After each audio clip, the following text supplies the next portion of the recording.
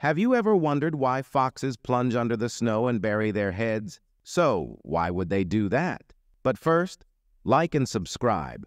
Some people went to perform research, but they discovered that this fox dives in the snow, and it looked like she was burying her head in the snow, which was rather scary. She did this repeatedly. However, everyone eventually discovers that the fox dives this way to hunt the hamster hiding in the snow.